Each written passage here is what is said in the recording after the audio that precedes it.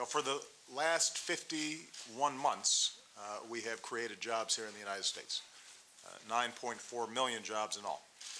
Uh, But we're going to have to create more. And one of the best ways to do it is to boost American manufacturing and American exports.